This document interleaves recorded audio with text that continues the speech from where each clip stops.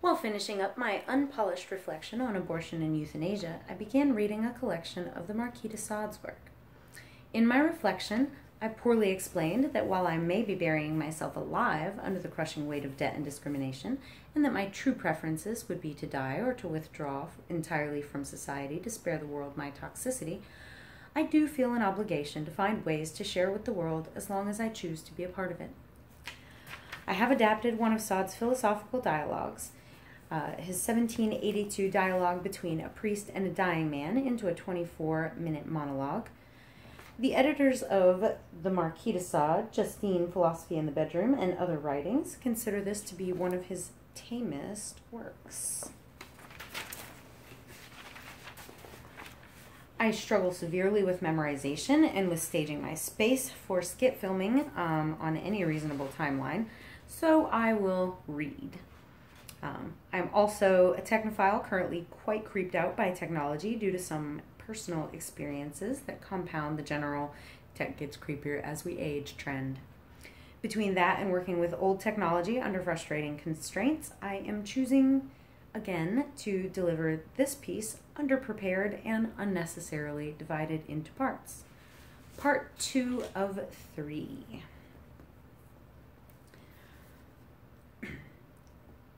Tis a mechanical operation, perhaps as simple as the working of electricity, but which we are unable to understand yet. Need I bother more about it? When you have roofed everything over with your God, will I be any the better off? And shall I still not have to make an effort at least as great to understand the artisan as to define his handiwork? By edifying your chimera, it is thus no service you have rendered me, you have made me uneasy in my mind, but you have not enlightened it. And instead of gratitude, I owe you resentment. Your God is a machine you fabricated in your passion's behalf. You manipulated it to their liking. but the day it interfered with mine, I kicked it out of my way. Deem it fitting that I did so. And now, at this moment, when I sink and my soul stands in need of calm and philosophy, belabor it not with your riddles and your cant, which alarm but will not convince it, which will irritate without improving it. And that's where I actually had um, intended to end part one, but uh, my timing was inaccurate. Sorry for that fourth wall break. Good friends and on the best of terms we have ever been, this soul and I. So nature wished it to be.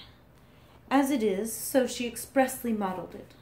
For my soul is the result of, of the dispositions she formed in me pursuant to her own ends and needs.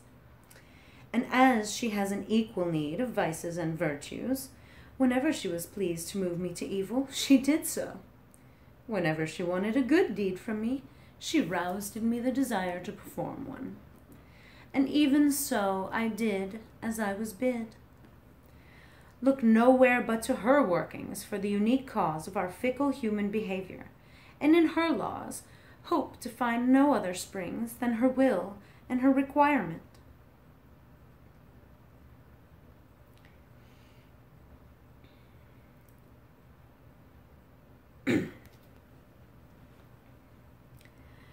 It is then possible that things necessarily come about without being determined by a superior intelligence, and possible hence that everything derive logically from a primary cause without there being either reason or wisdom in that primary cause. The world and all therein may be what it is, and as you see it to be, without any wise and reasoning cause directing it. And natural effects must have natural causes. Natural causes sufficing, there is no need to invent any unnatural ones, as your God, who himself, as I have told you already, would require to be explained and who would at the same time be the explanation of nothing. Hmm. and that once 'tis plain your God is superfluous, he is perfectly useless, and that what is useless would greatly appear to be imaginary only, null and therefore non existent. Thus, to conclude that your God is a fiction, I need no other argument than that which furnishes me the certitude of his inutility. True. Oh, oops. I cut that part. Nothing so much amuses me as this sign of the extent to which human beings have been carried away by fanaticism and stupidity. Although the prodigious spectacle of folly we are facing here may be horrible, oh, yeah, it is always interesting. Answer me honestly, and endeavor to set personal considerations aside.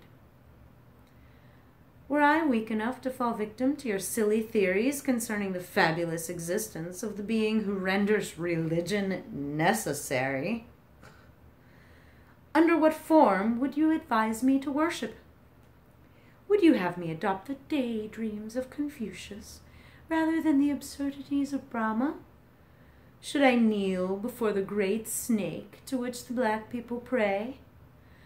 Invoke the Peruvian sun, or Moses, Lord of hosts?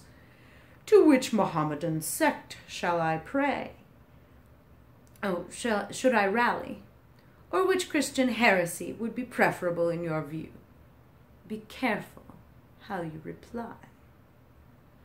Friend, 'twas egoistical his reply. Ha! I wonder how the one or the other of us can have much love for himself to deign to listen to such degrading nonsense. Ugh! He who sees in a divine Redeemer anything else than the most vulgar of all tricksters and the most errant of all, all impostors is mistaken. No, my friend, I said to him. All is peace and quiet around us. No wrath thunders forth. Because your God, be it from impotence or from reason or from whatever you please, is a being whose existence I shall momentarily concede out of condescension for you. or, if you prefer, in order to accommodate myself to your sorry little perspective. Because this God, I say, were he to exist, as you are mad enough to believe, could not have selected as means to persuade us anything more ridiculous than those your Jesus incarnates.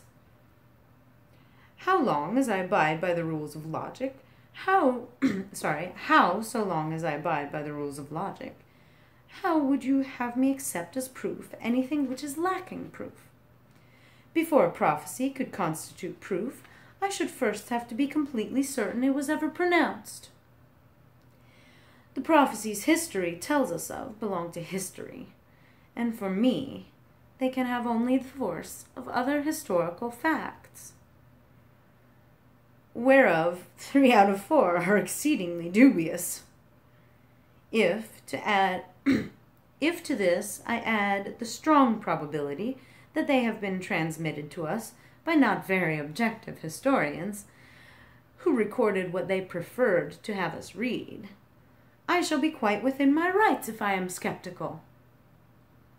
And furthermore, who is there to assure me that this prophecy was not made after the fact, that it was not a stratagem of everyday political scheming, like that which predicts a happy reign under a just king, or frost in winter time.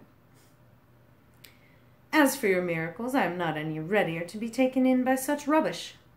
All rascals have performed them, all fools have believed in them. Before I'd be persuaded of the, of the truth of a miracle, I would have to be very sure the event so called by you was absolutely contrary to the laws of nature for only what is outside of nature can pass for miraculous. And who is so deeply learned in nature that he can affirm the precise point where her domain ends, and the precise point where it is infringed upon.